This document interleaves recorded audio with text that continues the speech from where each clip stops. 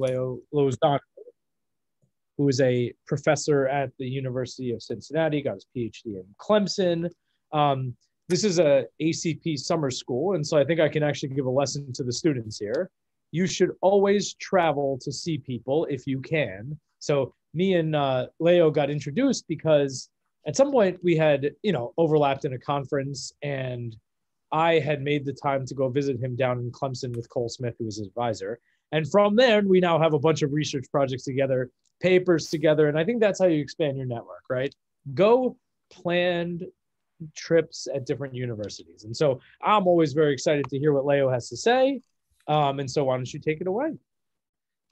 Awesome, David. Thanks for the introduction. Uh, and yes, that that was it, it. It feels like yesterday, but it's been a few years of so many so many fun stuff. Um, let me share my screen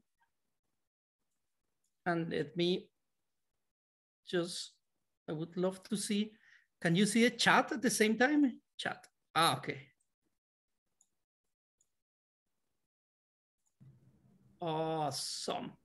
So morning, everyone. Uh, I'm I'm Leo Lozano, and I I want to share some ideas. Actually, I, I, everything I'm going to share today is from a collaboration we are working currently with uh, Andre and David, and um, it's a paper that hopefully is going to be out very very very soon. So uh, a preprint is yet not available, but but within next time we meet, uh, for sure that um, paper is going to be out there. And I think it's a perfect sequence to continue on, on the topic. Um, uh, many of the ideas that Merv just introduced in, in, in two-stage stochastic or this multi-stage idea, um, we, this is, this is a, a, direct continuation of, of that type of, of work. Uh, I, I have a very short presentation, so I, I just want to take my time, please feel free to interrupt, to ask questions and what's not. Um, uh, so let's keep going, yeah. Uh, I'm excited to, to show you these ideas fresh out of the oven. So uh, first, let's try to, to, to spend a little bit of time understanding this setting of, of bi-level optimization. Uh, and it looks scary, but this, this has been going on in, in our field for a few years now. And you see this type of bi-level optimization problems in, in different settings. You, you can think of two, two-stage stochastic programming. It's a special class of, of bi-level optimization or network interdiction, robust optimization. Many of these areas that, that, that we've been studying in the past 20 years, they you can cast them, you can see them as special classes of bi-level programs. And in a very general setting, the idea with a bi-level optimization is, is like you have an optimization problem within an optimization problem. Formally, uh, these are a type of uh, Stackelberg games. So you have two players that play sequentially, and your two players are a leader and a follower. Um, in this formulation, this is a very general formulation in which um, I'm assuming that the leader is in control of a set of variables that I denote XL, and the follower is in control of another subset of variables xf. So everything with an L is uh, control or regards to the leader. Everything with an F is control or regards the follower. Now, the structure of these problems is uh, you, you are solving this problem from the perspective of the leader. The leader is trying to maximize or minimize some objective, and this objective uh, both components are in, at, at, play in here. So there's a part of the objective that the leader can control, and there's there's a there's a contribution to the objective uh, linked with the leader variables. But there's also a part of the objective that is kind of out of the leader control. Like it's it's something that the follower controls. For example, in in two-stage stochastic programming, as Merv was showing, uh, you can think of the leader as the first stage so there are some things that you decide on the first stage that you control right there. And then after the realization of the uncertainty, there's a recourse problem, there's a follower, there's something that is out of your control at that moment, okay? In the same way, um, we have uh, what is called the upper level or, or the leader's uh, problem, the, the set of constraints. Again, Uh, this set of constraints, they uh, may perfectly contain the leader variables and there's some coefficients and there's some actions that the leader can take and can be limited by the constraints, but there's also an effect of the follower um, decisions in here. And what makes this problem interesting is this little monster down here, this uh, constraint is actually saying, look, the follower vector, whatever the follower is going to do, it has to be an optimal solution to a follower problem. So this argmax is just a way of, we are, we are incorporating a follower optimization problem within the leader's uh, perspective. So leader has control of XL and then follower is going to be an optimal solution to a follower problem. And this follower problem, again, is going to have some sort of objective that could depend both of the leader and the follower. And it's going to have a set of constraints that uh, in the same way as the leader is also here uh, dependent on the follower and the actions of the leader. So this is a, a very general setting. As I was telling you, the, the motivation for studying this type of problems is that uh, in special cases of this type of, of games are the most well-known cases is, is robust optimization. Uh, in, in robust optimization, you have a leader making some decisions and then you can think as the, the realization, the worst case realization of the uncertainty from an uncertainty set, that's, that's, that would be the follower. Or in two-stage stochastic programming, you have a first stage that's a leader, you make some decisions, and then you have a follower that uh, solves for each scenario some recourse problem. Or in network interdiction, usually you have a leader that is trying to interdict to, to uh, make some attack into some components of a network or a system, and then a follower has to solve um, an, an auxiliary problem on the remaining components. So this, this has been in the literature in, in many different shapes. And um, after some initial and after some of the ideas that we've been using uh, decision diagrams for two-stage stochastic programming, a natural evolution, a natural step is, is to go uh, to a, a, this a little uh, slightly more general setting and see uh, what types of ideas or what could decision diagrams do for us in this type of settings. Now, this is, of course, a very, very, very general setting. I'm, I want to focus on some uh, some special cases of, of these bi-level problems. And for the purpose of this talk, I, I just want to introduce one example and share some of the ideas we're exploring with that particular example. Of course, then in the paper, we, we will have a, a generalization of those ideas. But for the context today, I, I think it's perfect to just go over an example now. Before I move forward, I, I would like to stop here and, and see if you have any questions regarding this type of bi-level setting. Is, is, this, uh, is, is the dynamic of this type of problem clear? Are we good to go? Are there any questions on the setup? Awesome. It feels just like teaching class. No, um, this is the optimistic approach, right? So you're allowed to choose one of the alternative optima, whichever you like. Yes, okay, that's a very good question. Thank you, Merv. Yeah. So in this case, we're saying the follower, it's any solution to the uh, argmax in here. So any optimal solution of the follower. And since here we have like like in the outer in the upper level we we have control of both variables yes what actually is happening in here is what is known in the literature as an optimistic uh, assumption.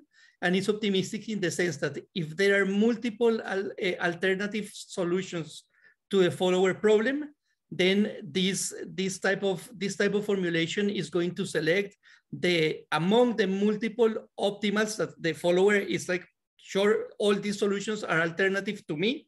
The model is going to select the one that is the most favorable to the leader.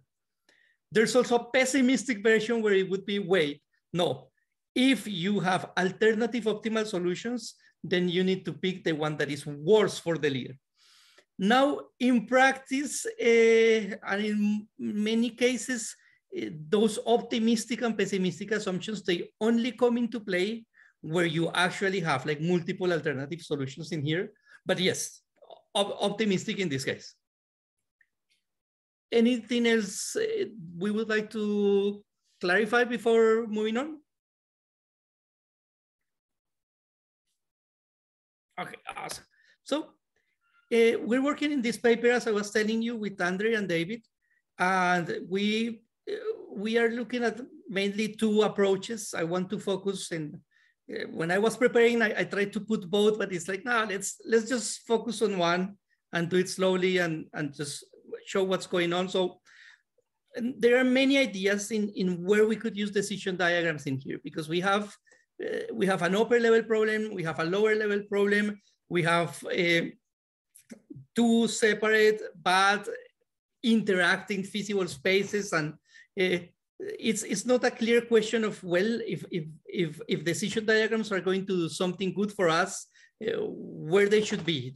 Should we try to build a decision diagram for the complete bi-level problem or maybe to try to dualize or maybe try to decompose uh, the leader feasible region or the follower or maybe just focus on the interactions? Like where to start is is, is actually an a very interesting question and we've been working on this for, a, a, probably a couple of years now and, and there's so, so many ideas so many places where you could say well maybe decision diagrams could bring something um, in this case, I want to show you an idea where we're using decision diagrams uh, to make a transformation of the follower problem. So we're going to focus on this, the, the most complicating constraint, because if you look at this um, type of bi-level formulation, if you take away the red constraint in here, everything's like pretty vanilla type of optimization. The, the complicating crazy stuff is happening on this constraint that has an argument max. So it's like this constraint that is embedding an optimization problem within an optimization problem. That's this is what is messing everything up. So a, a first natural approach is well, let's see if we can use decision diagrams to get a, to get a hold a better representation and, and somehow transform this nasty constraint in here. Now, uh, before I move on also, these problems, even if everything is convex, everything's linear, everything is well behaved, even in the most perfect conditions where everything has all the natural, beautiful structure, these problems are uh, well known to be still NP-hard. So even if, if all the functions are convex or linear, all the variables are, like even in the, with the best conditions, these problems are NP-hard. Now, if on top of that, in, in this setting, we are trying to look at purely discrete, discrete uh, leader, discrete follower, all these problems are like very, very, very challenging. And there are few methods that can actually uh, directly deal with this type of, of, of formulations.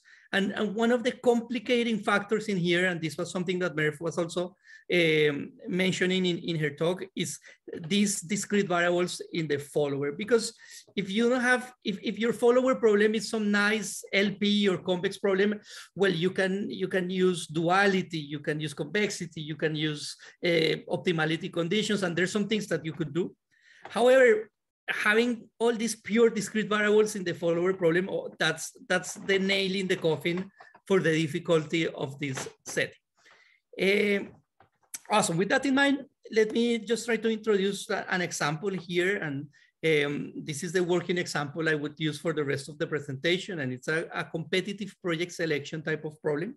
So Imagine that you have two companies, I don't know, Pepsi and Coca-Cola, and they are uh, competing to execute um, a, a, set of projects. So for example, they, they both want to buy uh, ads for the Super Bowl. Maybe, I don't know, Pepsi has like the halftime show and they are like sponsors and what's not. So maybe they can go first and they can pick their, like, these are the ads, uh, these are the slots that we want to use. And then it's competitive in the sense that, well, there's only this limited set of projects. In my example, there's only this limited set of ads that you can uh, execute. And, and once the leaders is, is, is buying some of these ads, once the follower goes and tries to, to find their portfolio, then, then the projects that the leader executed are no longer available. So um, also, it's competitive in the sense that probably uh, for the leader, you may have a revenue, you may have a, a, market share that you say, okay, if I invest in, in one of these ads, if I execute one of these projects, you, you get some positive gain.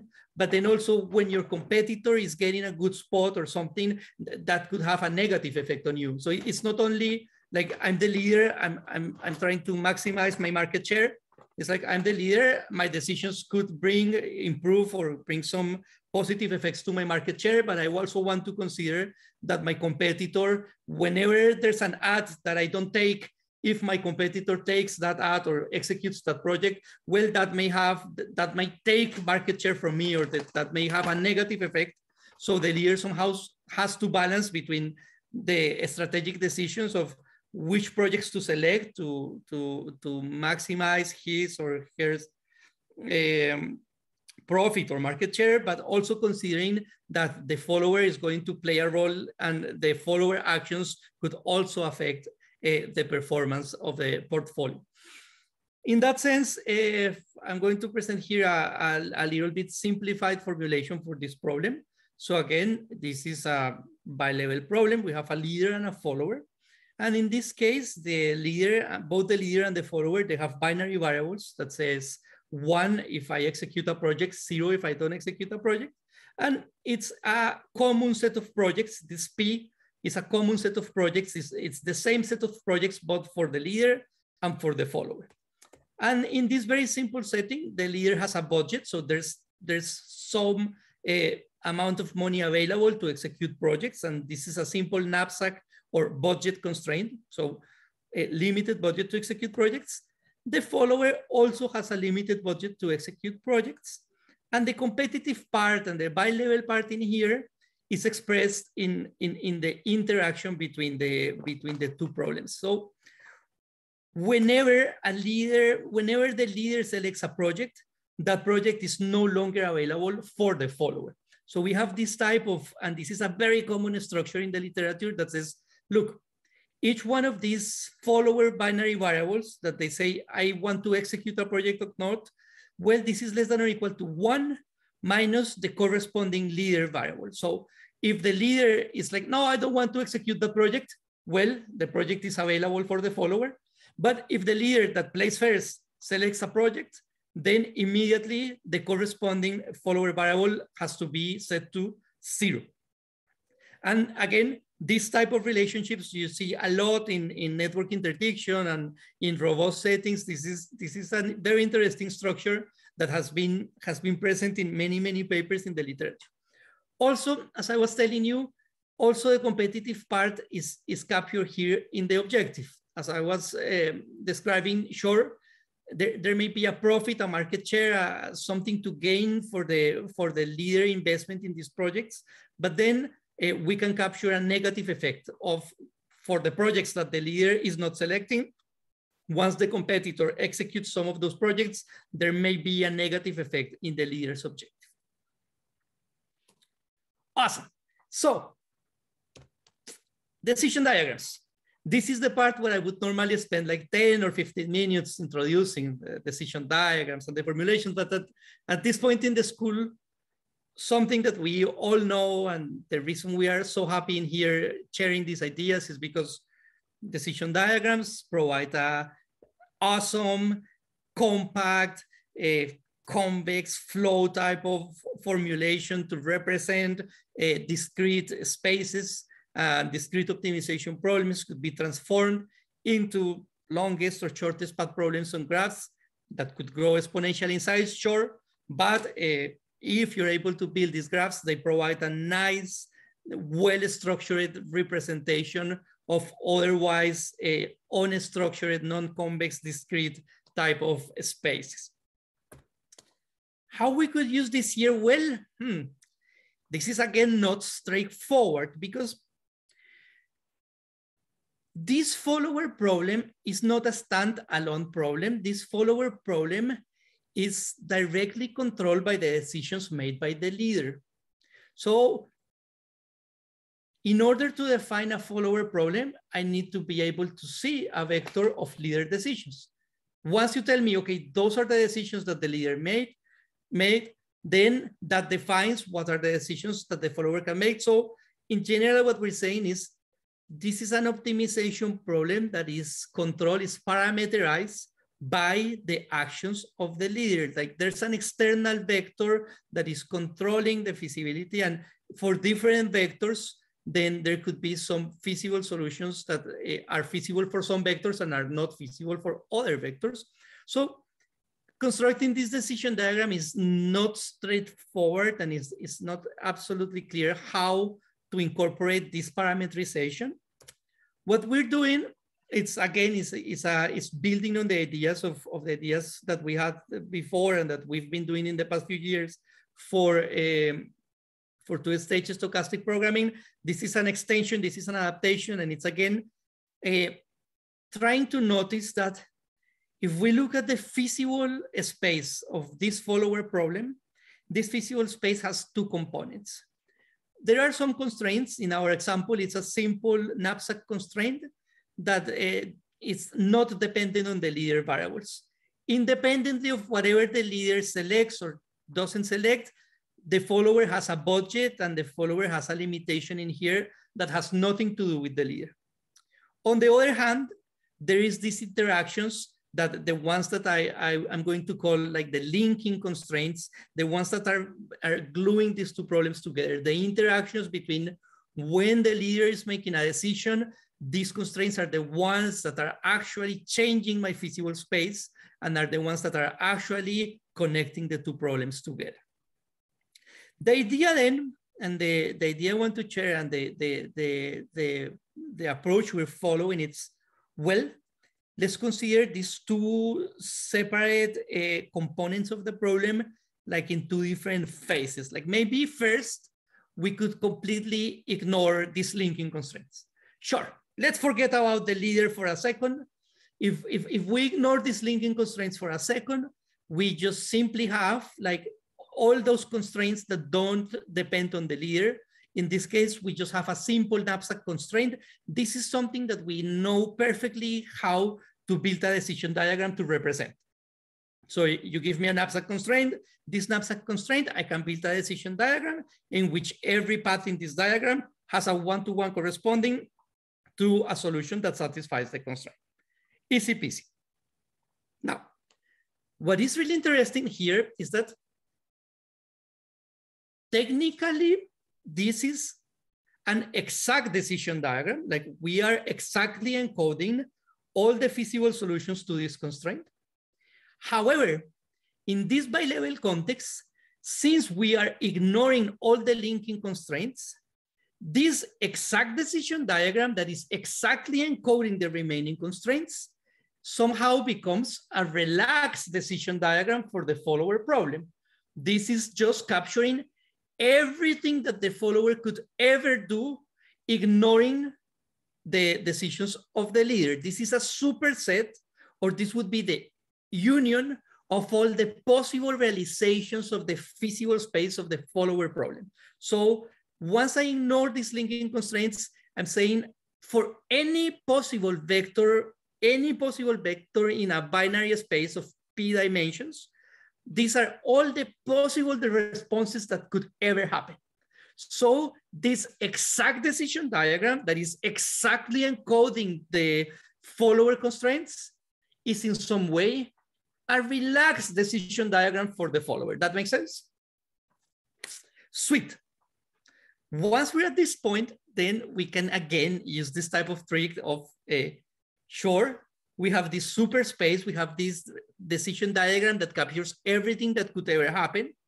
Now we can incorporate the uh, leader decision variables into uh, as capacities into these arcs so that we control which parts of the diagram are accessible or not with the leader decision vector. And this is, again, I think core part of the core of the contribution of this idea as well. Once you have this decision diagram, you can control how this decision diagram is going to represent different feasible sets by introducing capacities on the arcs. In this case, what we have to do is go layer by layer. And then in the first layer, every one arc that would, the, every one arc that would imply a follower uh, decision variable being equal to one, now we impose a capacity of one minus the corresponding leader variable. So leader says zero, I don't want to take the project. Well, the arc is available for the follower and the follower has the ability to take the arc or not. If the leader say, yes, I want to take the project, for every project that the leader executes, then the capacity of this arc becomes zero and then it's like, it's no longer available for the follower. In the second layer, now I have to put the capacity on both one arcs. And for each one of these layers, I would have to put the capacity on every single one arc. However, interestingly enough, in this case, uh, zero arcs won't have any capacity. Like the there's there's nothing that the leader can do to force the follower to to avoid saying no to a project. So um, the leader can only influence or only affect the capacity of the one arcs in this case. Now, what is really cool about this gadget is that now we have this diagram that we we we still don't define a name. We, we call this like parametric decision diagram or maybe a flexible decision diagram or adjustable decision diagram. This is a decision diagram that is, is not like the traditional decision diagram with everything static. This is a decision diagram that it receives an, an input, it receives a vector of, of, of leader variables in this case. And for, for a given vector that you give me, that sets up different capacities over the arcs. And for any given vector that you give me, the solution space represented for this variable, for this it represented by this decision diagram is changing. So you give me one vector, a vector full of ones, then the follower has nothing else to do, just go all zeros. You give me a, a vector zero, zero, one, okay, so the follower can select any of the projects except the third one, and you get the point. This, this diagram is for any input that you give me, the input being the vector of decision, of leader decisions, then this diagram is going to accurately enforce or encode the uh, corresponding follower feasible space. Why I'm making such a big deal and why I am excited about this? Well, because once we have a representation like this one, then instead of having to deal with this argmax of a purely discrete problem that's discrete, non-convex, no wild wild west, no special properties, nothing like like like purely combinatorial expression. I can transform that into, and I, I guess we have seen this almost every day in these talks. I, I can transform that into a nice, beautiful flow formulation over the diagram. Now, this flow formulation has an additional component because these uh, arcs, they have capacities. So if you see here, we have the typical flow balance, but now we have some capacities, capacities only on the one arcs, and these capacities are controlled by an external, this, in this problem, this is not a variable, in this problem, this is fixed. So you give me, you give me a fixed vector of leader, uh, the plan for the leader.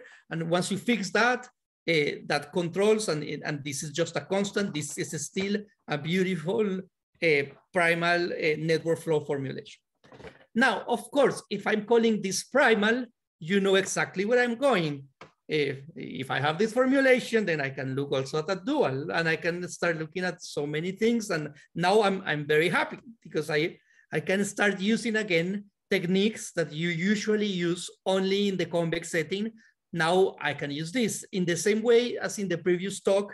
It's like, look, in the original form, there's no Benders decomposition. There's nothing you can do. There's, it's just a discrete problem. But after the transformation, then you can apply Benders, you can apply cuts, you can, it's the same idea here. Before the transformation, we just have this ugly, well, not ugly, it's, it's very nice, but, but not structured, purely discrete problem. After the transformation, now we have a flow problem, we have a, we have a primal, we have a dual, and we have some properties that I want to show you very nice properties. If we think about this, uh, of course, even after the transformation, this primal problem is still dependent on the leader variables, it's parameterized by the leader variables. This feasible region depends, you give me a, a fixed vector of leader variables, and this feasible region is shifting with the leader variables. However, Once we go to the dual, something nice is happening here and it's in the dual problem. The leader variables are only here messing up with the objective, but the dual feasible space uh, is not changing, is, is in no way, shape, or form affected by the uh, leader decisions, which means that somehow all the possible dual problems for all the possible choices of the leader and the follower, the feasible uh, space in the dual, the feasible dual space remains the same. So there's like only one feasible dual space you care about, whereas in the primal space, for, for any realization of, of these leader variables, your primal space is changed. What we can do here, again, is we could go the, the route of, okay, from here, maybe we can design a cutting plane algorithm. Uh, but actually, I want to take another route and we're exploring another route in here. And it's, if we have primal, dual, uh, we have optimality conditions. So maybe what we can now do is to use KKT optimality conditions to try to come up with a single level reformulation now. If you've been in this area uh, or you, have heard anything about robust optimization or interdiction or any of these bi-level settings, this is by no means our contribution. This is the this is the type of approaches that you traditionally use when your problem is convex and well behaved. In this case, what binary decision diagrams are doing for us is they are a convexification gadget, a convexification device by which we can go from a purely discrete problem into a nice uh, convex network flow type of uh, follower problem into uh, the existence and, and, and it opens the door for us to use KKT conditions and reformulations and what's not. In this case, uh, we can express the KKT conditions as three ideas. One, well, you need a flow, you need a path on the on the diagram. So primal feasibility is just this is a this is a problem over a decision diagram. You need to find a path from root node to end node in the diagram. Then dual feasibility is interesting. As I was telling you, you just need a vector pi and alpha that satisfy these constraints and dual feasibility here it has nothing to do with the leader. So primal feasibility, it has something to do with the leader. The leader is changing the primal space. Dual feasibility is just find me a pi and alpha that is going to satisfy the dual constraints. And then the complicating part is the complementary slackness or strong duality. where we would want to say, look, the relationship between these two solutions, primal and dual, it's that the, the objective function of the primal has to be equal to the objective function of the dual. Mm, why this could be um, concern is because if we're trying to mix and match everything into a single level formulation, these leader variables, whenever they're just a fixed vector, okay, nobody cares. It's just like constants. However, if we just want to put everything together, the primal, the dual, and the leader, everything together in one big problem, whenever these XL stop being just constants and go back to being variables, then we have this term in here. And this term in here is, is not fun because this would be a binary variable times a continuous dual. So it's, it's not only a quadratic term, but it's a multiplication of binary times continuous uh, and sure, maybe you could say, no, you can linearize, you can use McCormick, but this, this type of, of this, this type of uh, terms uh, usually end up weakening your formulations.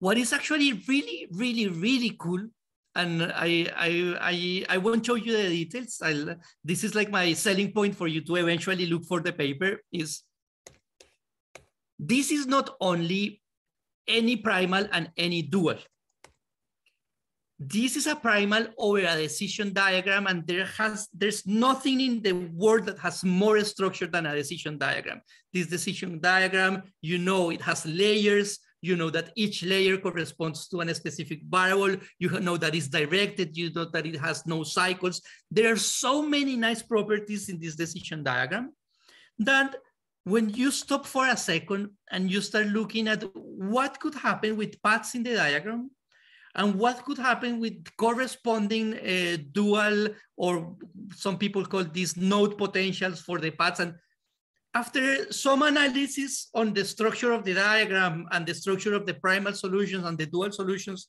and with some very, very, very, very mild assumptions, because of the structure of the diagram, because of the of the relationship of every layer corresponds to a specific variable and all the beautiful things that happen with the diagram actually we can uh, recast this strong duality without the need of having this um, uh, this annoying multiplication in here we can alternatively enforce a strong duality by just ensuring that the, the objective function for the primal is equal to this transformation. This is just like a linearization of the dual objective in which we got rid of the multiplication of the dual variable times the binary variable, and we just split the terms.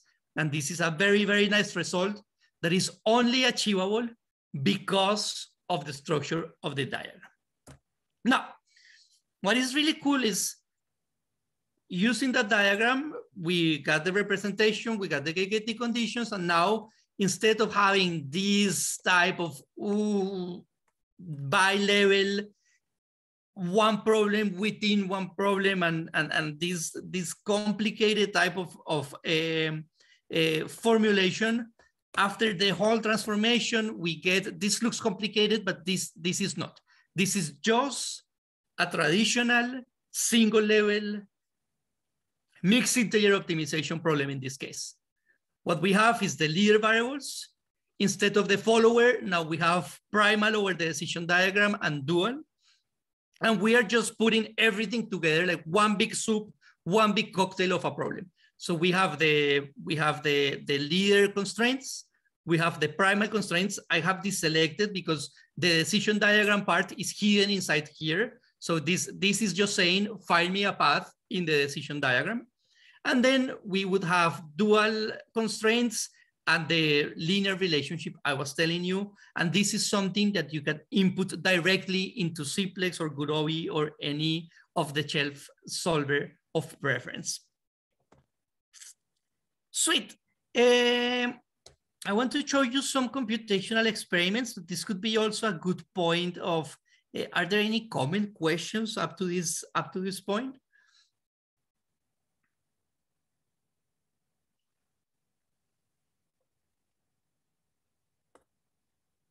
Awesome.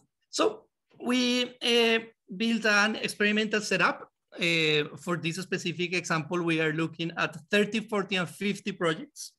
And uh, to define the tightness or the, the budget constraints, what we did is to define this parameter omega. And uh, we say, look, what would be the complete, the total cost of executing all the projects and we're going to set up the budget as omega times this summation in here.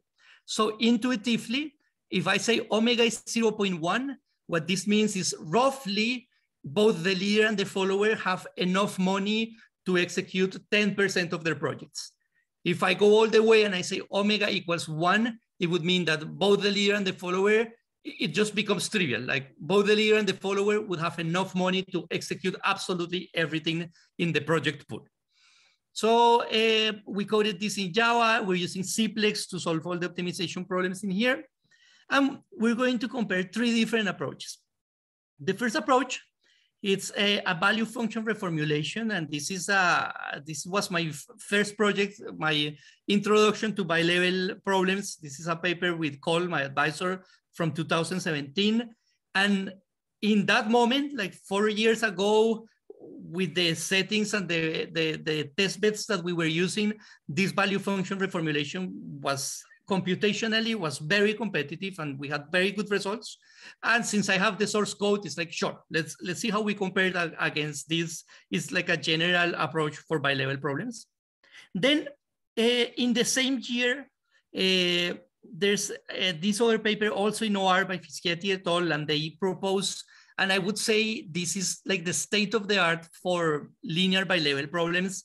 They have a solver. It's, it's a bi-level solver that is based on branch and cut and computational. I'm, I'm just so glad that I got to publish my paper the year that I did because then these folks they came with their solver and it's like wow like the the, the computational performance and uh, even today if you look at the bi-level literature I, I would say this is probably as a general solver is is the best performer of course for for some specific problems if you exploit the specific structures then it's it's you can you can do better but as a general solver this is a this is a, a very very good benchmark and now um, I just have our decision diagram reformulation.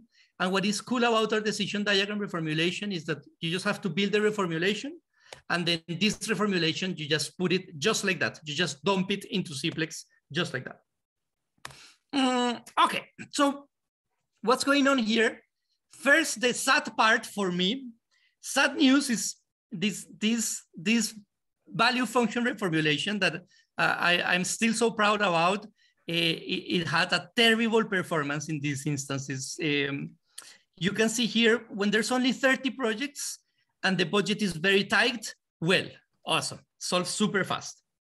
But with very small increments here in, in, in as, the, as the budget gets looser, as you get more budget, quickly it comes to a point where this uh, approach is not even able to solve any instance and it's not only that it's not solving, but after one hour of computation, the remaining uh, computational gap is still massive. And if we go down here, this is sad. Like look at 50, 50 projects, this solver is not, is not able to close any instance. Everything hits the time limit and all the remaining optimality gaps are very, very high. Now, this is also a reminder that, well, as I was telling you at the beginning, a bi-level discrete optimization problem, this is, this is as hard as they come. Like only 50 projects and we are, this is already too much for this, for this approach to solve. So th these problems are very difficult. There's, there's no escaping that. Even for small n, these problems are, are very, very difficult. That's not escaping that. And then of course, this uh, this solver is has a, a, better performance. At least for n equals 30, this is perfect. It's solving everything. For n equals 40, it's solving almost everything. And it has a little bit of gap with the instances with uh, larger uh, budgets. But then again, for n equals 50, you can see how this degrades. No, for a tight, tight omega, perfect, 30 seconds, everything solved but as omega grows, it's like eh, the solvers start failing, failing. And again, when we have 50 uh, projects, omega equals 25%, this solver is not able to close any of the instances. Now the optimality gaps are better than, than my value function approach, eh, but still, still quite, uh, quite interesting gaps in here awesome news is that in this case, our, our decision diagram reformulation, uh, well, when there's a small number of projects, it's still very good, very competitive. And you can see how these times are scaling way better than the other approaches. Even here, with 50, with 50 projects on the line, uh, we are still able to solve everything except one instance. And that one instance, uh, the optimality gap is pretty reasonable. So overall, I was and we were very excited with these with these results. Actually, they they are really good, and and uh, then I put them in the paper, and Andre is like, no, Leo, those results look too good. Maybe we should find also other instances. And funny story is that okay, let's let's try to find other instances. Let's try to find other parametrizations to see uh, it's going to be interesting to find where the bi-level solver or, or, the, or any of the other approaches when the decision diagram formulation is going to fail. My first intuition is, well, we know that these decision diagrams, they grow in size uh, and, and then maybe as we keep increasing n, well, the size of these diagrams is going to grow too large and maybe that's where the method is going to fail. However, as we keep increasing n, Sure, eventually the decision diagram method is going to fail, but these other methods are completely failing before. So it's like decision diagrams is going to fail, but it's it's, it's not like with larger N, decision diagram is going to fail and the bilevel solver is going to work. So the other idea was, okay, maybe what we want to do is to keep going at, at a larger and larger values of these, larger and larger values of these budget constraint. And the behavior is super interesting. It's like these problems are getting more difficult, more difficult, more difficult, more difficult. But then once you have enough budget, then it's like the leader has a lot of power. So the leader can just execute most of the projects. And then once, once the budget is like 60, 70%, it's like difficult, difficult, difficult, difficult. And then it goes and the problems becomes very, very, very easy. So uh, this is a work in progress. Uh, I think that we are, we are almost finding um, a place where maybe these decision diagrams could fail, but it's, it's not messing with the it's not messing with the size or the or the budget, but it's more messing like with the the distribution of the weights in this knapsack. And um, long story short, what I'm happy is that sure this table looks amazing, and then all the other experiments we have been doing is like sure the still the method is, is very good. It's, it's actually it's, it's, it's been a challenge to find a set of instances where we can show that, okay, here is where the decision diagram method is failing. And I would guess it's, it's just simply because uh, any method that is dealing with this problem directly, it has to deal with a bi-level structure. It has to deal with, with, with relaxations, with cuts, with like, it, eh, this is a bi-level world. Whereas our method, once you get to this point, this is a single level problem and nowadays, Gurobi and Cplex, they are so effective at solving single level problems that once you're back in the, in the world of single level optimization, uh, Solver is going to perform amazingly good.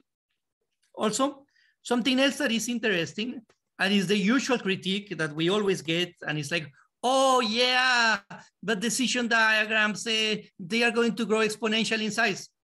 Sure, we know they are, However, these problems are so difficult that even with exact decision diagrams, we are, we are not using relaxed decision diagrams, we're not using constraint.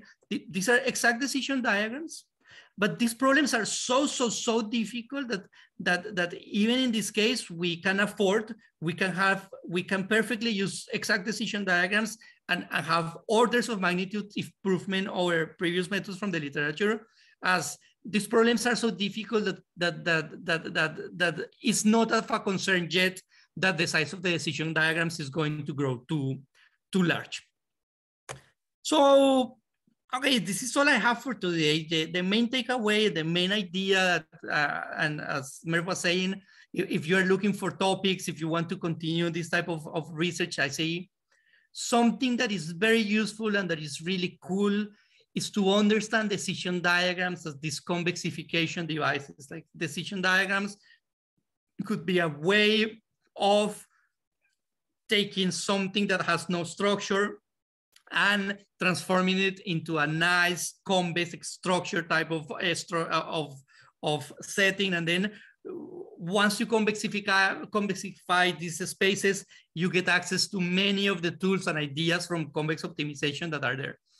What's interesting in this type of settings is uh, these are special type of decision diagrams where uh, there's capacities on the arcs and these capacities on the arcs, they are the ones playing the crucial role of making these diagrams flexible, adjustable, parametric. This is because of these capacities in the arcs that we can link the bi-level, the leader, the follower, and, and we can do the stuff that we do.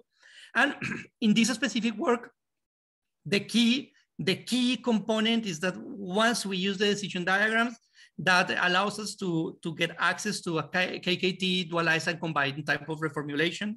And it's, it's been very promising. What comes next? And the, this is a question that is, is in the back of my mind and it's, it's a very interesting open question is, well, we are using exact decision diagrams, but as we know, Eventually, if we want this to keep scaling into more complex and larger problems, we'll have to move from exact decision diagrams into relaxed or restricted decision diagrams at some point. However, in this setting, it's not as simple as straightforward as in a single level setting. No, in a, in a single level setting, we say exact decision diagram is an exact representation, gives you an optimal solution. Relax is going to give you a upper or lower bound. Restricted is going to be a heuristic and is going to give you a bound.